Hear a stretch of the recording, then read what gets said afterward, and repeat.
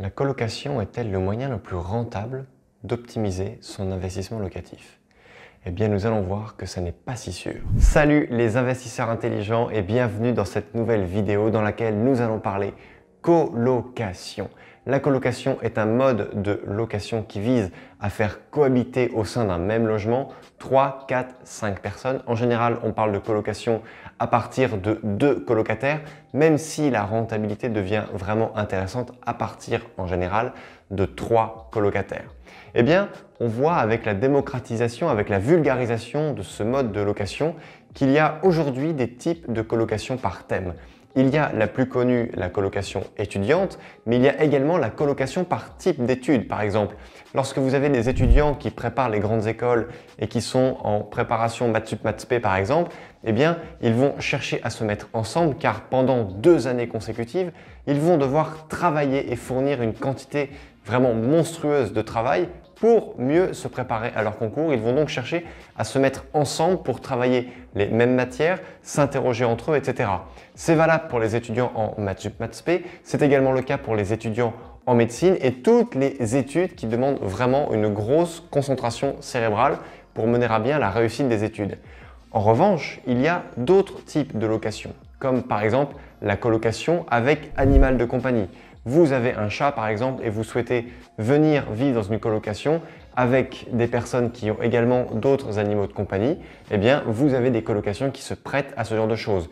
Vous avez également des colocations de sportifs, vous avez des colocations genrées, donc uniquement des femmes ou uniquement des hommes. Et il y a même aujourd'hui des colocations par type d'orientation sexuelle. Moi, je ne l'ai pas trop cru lorsque je l'ai vu, mais pourtant j'ai vu un article sur le point qui était très sérieux là-dessus.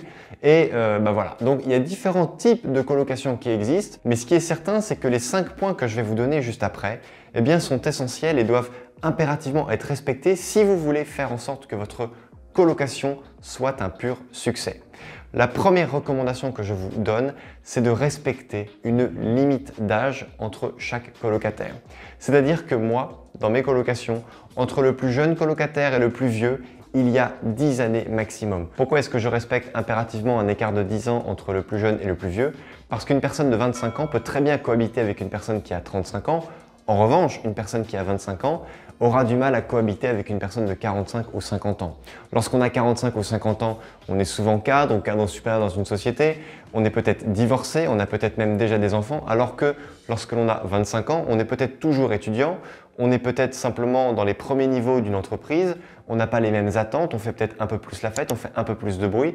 Et si vous voulez que votre colocation se passe bien et qu'elle ait le moins de turnover possible, vous avez tout intérêt à respecter une limite d'âge entre le plus jeune et le plus vieux qui soit limitée, qui soit relativement courte, comme 10 ans, ce que je vous préconise. Et donc, si vous voulez vraiment optimiser le rendement de votre colocation en limitant le turnover, eh bien, je vous encourage vraiment à respecter cette limite d'âge entre les plus jeunes et les moins jeunes. Deuxième conseil à la sauce Monsieur Rodolphe, je vous encourage à proposer un nouveau colocataire et en aucun cas à l'imposer.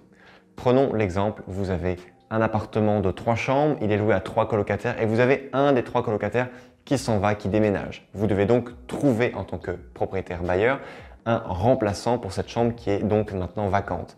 Eh bien, vous allez faire les visites en présence des autres colocataires et lorsque le candidat à cette visite, à cette chambre, à la reprise de cette chambre s'en va, vous retournez voir les deux autres colocataires et vous leur demandez ce que vous en pensez. En général, ils vont toujours vous dire oui, mais de cette manière, lorsque vous allez accepter le dossier de ce candidat colocataire, eh bien, les autres colocataires, les colocataires restants se diront tiens, le propriétaire nous a demandé notre avis.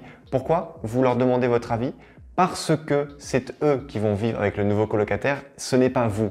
Et en leur demandant leur avis, eh bien, vous les responsabilisez sur le maintien de la bonne ambiance dans la colocation. Troisième conseil, ne confondez pas studio et colocation. Ce que je veux dire par là, c'est que dans une colocation, vous devez impérativement avoir un espace de partage. Un espace de partage, c'est un espace dans lequel les colocataires pourront se retrouver le soir pour boire un verre, pour prendre l'apéritif, pour regarder un match à la télévision. Bref, où ils pourront partager un moment ensemble et se découvrir. Vous avez des personnes qui voient la colocation dans des appartements de 70 mètres carrés dans lequel il y a simplement une cuisine à partager qui fait 10 mètres carrés et quatre chambres avec salle de bain qui font chacune 15 mètres carrés. Et au final, les colocataires ne se rencontrent jamais. Sauf qu'un colocataire, en général, il a le même budget pour louer une colocation que pour louer un studio. S'il veut être seul, il va louer un studio. Il y a suffisamment d'offres comme celle-ci sur le marché. Donc s'il fait le choix de venir en colocation, c'est qu'il veut ne pas être seul, il veut partager des moments avec d'autres personnes. Donc ne confondez pas studio et colocation. Mettez des espaces communs pas la peine que ce soit très grand, ça peut être 8, 10, 12 mètres carrés. Mettez simplement une table à manger, mettez une télé au mur, mettez un canapé, mettez quelque chose qui permette à vos colocataires de se retrouver. Quatrièmement, une colocation qui fonctionne, c'est une colocation qui a des règles. Je vous encourage donc vivement à mettre en place un règlement intérieur car il sera le code de la route de votre colocation. Il va fixer les règles de bonne conduite. C'est un document que je vous mets là, que j'ai appelé, que j'ai baptisé le pacte de colocation. C'est un document qui doit être signé par chaque colocataire et il est à refaire signer par chacun d'entre eux à chaque fois qu'un nouveau colocataire rentre ou qu'un colocataire sort.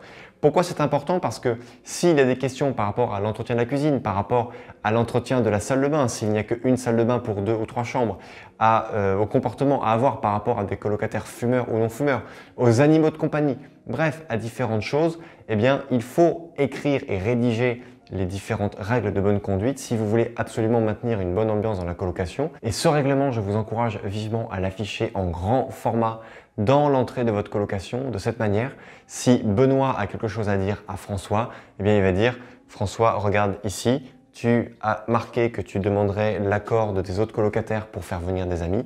Or, moi, en ce moment, je prépare des concours, j'ai besoin de me coucher tôt. Il y a beaucoup de tes amis qui viennent tous les soirs, ça fait du bruit, je ne peux pas dormir, donc s'il te plaît, respecte ton engagement. Tu as dit que tu nous donnais mon accord.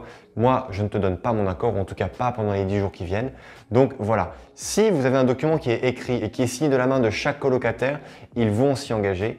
Moi, pour ma part, j'avais des problèmes dans la gestion de mes colocations avant de mettre en place le pacte de colocation. Et maintenant que j'ai mis en place le pacte de colocation, eh bien, je n'ai plus aucun problème. Et enfin, cinquième et dernier point, peut-être le plus important, soyez clair et expliquez bien la répartition des frais en colocation à tous vos colocataires. Par exemple, c'est à eux de payer la taxe d'habitation. Donc, la taxe d'habitation, elle va tomber sur l'un des 3, 4 ou 5 colocataires en fonction du nombre de colocataires que vous avez. Donc, vous devez leur dire que si L'an dernier, la taxe d'habitation a coûté 1000 euros pour l'appartement et qu'il y a 3 chambres. Je vous conseille de faire 1000 euros divisé par 12 mois divisé par 3 chambres. Ça va vous donner un montant et chaque colocataire doit mettre dans un pot commun cette somme-là. Comme ça, chaque colocataire pourra s'acquitter du montant qui lui est réellement dû par rapport à cette taxe d'habitation. Également, par rapport euh, au dépôt de garantie, eh bien, le dépôt de garantie n'est pas le même s'il y a des problèmes dans les parties privatives que dans les parties communes. Si vous avez par exemple, comme ça m'est arrivé, un colocataire qui écrase son mégot de cigarette dans le canapé du salon, ça c'était avec mon tout premier colocataire, eh bien il faut dire que s'il y a un problème sur le canapé du salon qui est une pièce commune, eh bien il aura un retrait de un tiers de sa caution parce que comme il y a trois colocataires, il est responsable à 33% quelque part des parties communes. En revanche, à 100% dans les parties privatives. Donc s'il avait écrasé son mégot de cigarette sur le matelas de sa chambre, là, il aurait eu un retrait du montant du matelas sur sa caution. Or, si c'est dans les parties privatives, les autres colocataires le savent et vont dire écoute, Benoît ou François ou euh, n'importe lequel, tu as fait un trou, moi il est hors de question que le tiers de mon dépôt de garantie passe là-dedans, donc tu vas remplacer le canapé, tu vas faire les travaux, tu vas le réparer. Et si vous mettez vraiment clairement au courant vos colocataires de votre mode de fonctionnement qui est juste et équitable par rapport euh, à votre mobilier, par rapport au dépôt de garantie, eh bien, vous n'aurez aucun problème.